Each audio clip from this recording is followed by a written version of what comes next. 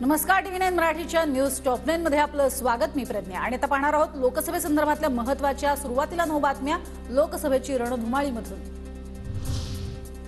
कोल्हापूरच्या शिंदेच्या शिवसेनेचे उमेदवार संजय मंडलिक वादात दत्तक आलेले आत्ताचे शाहू महाराज कोल्हापूरचे नसल्यानं ते वारसदार नसल्याचं वादग्रस्त विधान.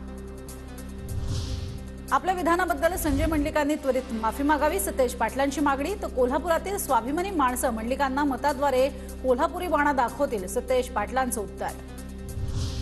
मंडलिकांचं वक्तव्य म्हणजे विरोधक किती खालच्या पातळीवर जाऊन टीका करतायत त्याचं उदाहरण शरद पवारांचा महायुतीवर निशाणा. संजय मंडलिकांनी छत्रपतींच्या गादीचा अपमान केला. डुप्लिकेट शिवसेनेनं सगळं ताळ तंत्र सोडून दिलंय. संजय राऊतांची शिंदे गटावर टीका. मंडलिकांकडनं बहुतेक स्लिप ऑफ टंग झाली असावी. छत्रपतींच्या घराण्याचा अपमान करण्याचा हेतू नसावा. भाजपच्या प्रवीण दरेकरांची अजब सारवासारव. पंधरा ते सोळा जुलैला शरद पवारांची भेट घेत त्यांना सोबत येण्याची विनंती केली होती. पवारही पन्नास टक्के तयार झाले होते. प्रफुल्ल पटेल यांचा मोठा दावा. तर अजित पवारांच्या शपथविधीनंतर शरद पवारही सोबत येणार होते. प्रफुल्ल पटेलांचा दावा सत्य आहे.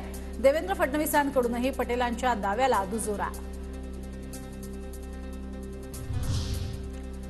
पश्चिम महाराष्ट्रात भाजपला धक्का. धैर्यशील मोहिते पाटील चौदा एप्रिलला पवार गटात प्रवेश करणार. धैर्यशील मोहिते पाटील हे पवार गटाचे माढा लोकसभेचे उमेदवार. जागा वाटपाचं सगळं नीट मार्गी लागणार. उद्या मुंबईमध्ये शिंदे फडणवीसांसोबत बसून चर्चा करू. नाशिक रत्नागिरी सिंधुदुर्गच्या जागेवरनं अजित पवारांची प्रतिक्रिया.